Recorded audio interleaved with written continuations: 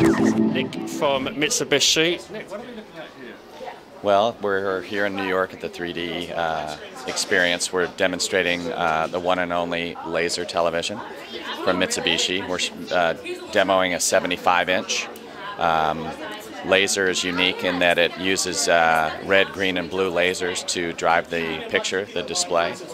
And the inherent benefits in, in using laser technology is that it basically provides twice the color gamut of any other te uh, television technology. It's also at 75 inches the most energy efficient television on the planet. So it only consumes about a little over 100 watts in full operating mode. Um, and, and, the one to the yeah to the left here is uh, one of the models in our uh, 3D DLP home cinema TV lineup. We're, we're showing, demonstrating a 73 inch today that has uh, at the bottom uh, a 16 speaker panel that uh, is fully integrated and outputs 5.1 Dolby Digital Surround. So we like to say, you know, 3D picture and 3D sound. So right. yeah, yeah, we have three series in the uh, 3D DLP uh, home cinema lineup. And uh, both these TVs, these are using the active glasses, is that right? Yeah, all TVs are, are using our active shutter eyewear.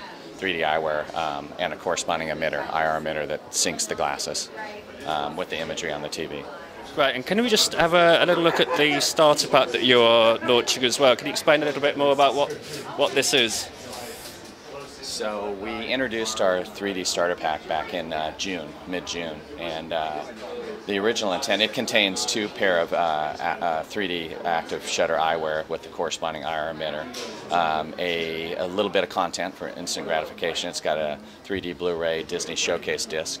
It also has our uh, the Mitsubishi 3D adapter, which uh, we've developed and included in the starter pack because we've been selling 3D TVs since 2007. So there are almost a million 3D capable TVs seated in the market.